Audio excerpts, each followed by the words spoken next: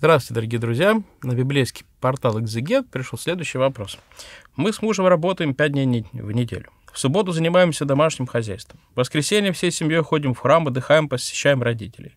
Но вот на хобби времени всю неделю нет, а шить в воскресенье нельзя. А шитье приносит небольшую радость, но с тех пор, как воцерковилась, почти не шью, от этого очень грустно. Брожу вечером в воскресенье по дому, страдаю, злюсь, потому что есть время свободное, а использовать его на дело, приносящее большую радость, нельзя.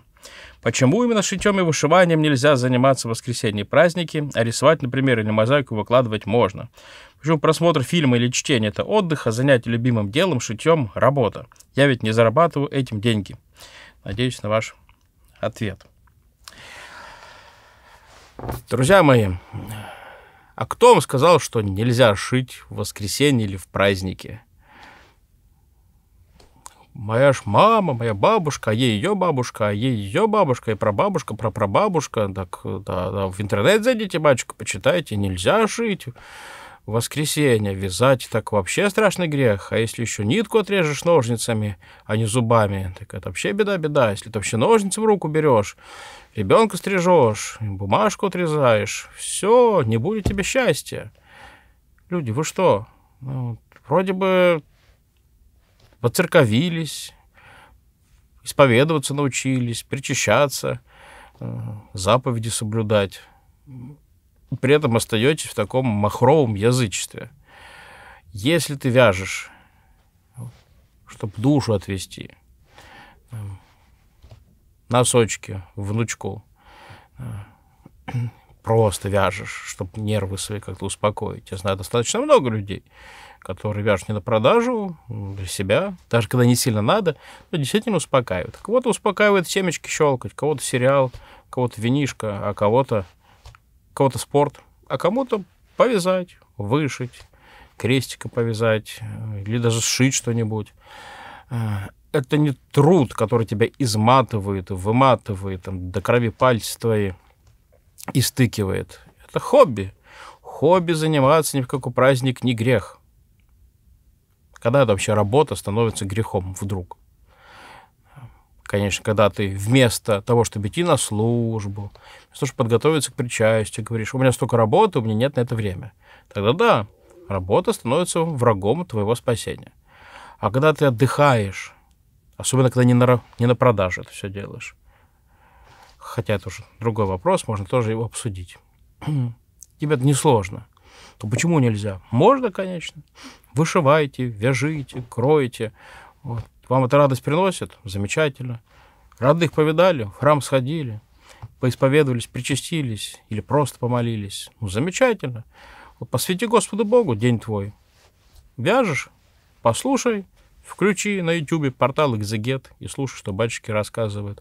Толкование на Священное Писание, на апостол. Мы же в апостоле вообще ни, ничего не соображаем худо-бедно мы в Евангелии так плаваем, через годик, другой, третий, а, что-то в этих посланиях написано, вообще ничего не понятно.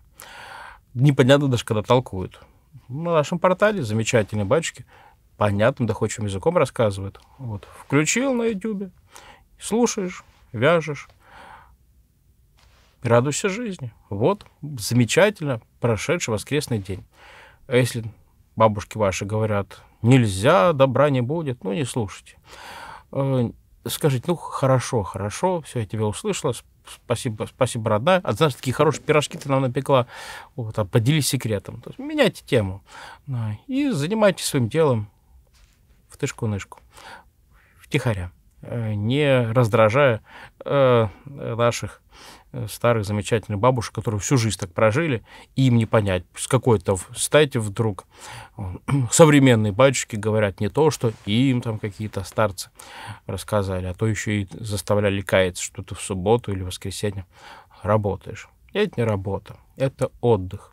Если, повторюсь, в кровь пальцы свои не стираешь, тебе не надо работать там, до дурения, чтобы потом это все продать, то спокойно себе вяжите. Ну а что касается продажи, ну, бывают такие обстоятельства, когда э, надо успеть закончить заказ. Допустим, даже если ты икону вышиваешь. Ну, или варежки, да что угодно.